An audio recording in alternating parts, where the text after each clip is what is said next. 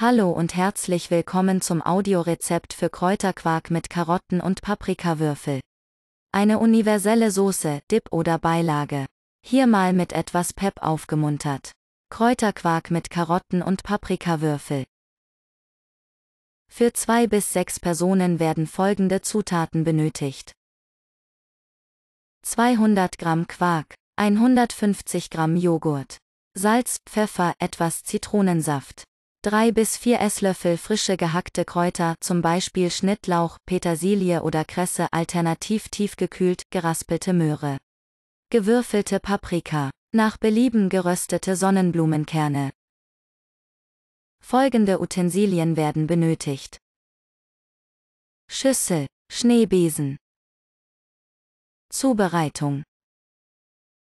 Alle Zutaten vermischen und abschmecken. Besonders lecker als Beilage zu.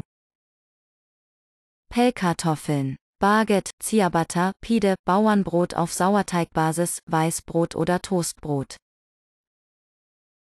Füllung zu. Wraps. Diese Varianten gibt es.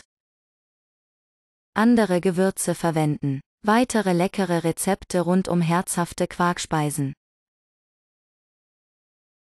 Viel Spaß bei der Zubereitung und guten Appetit.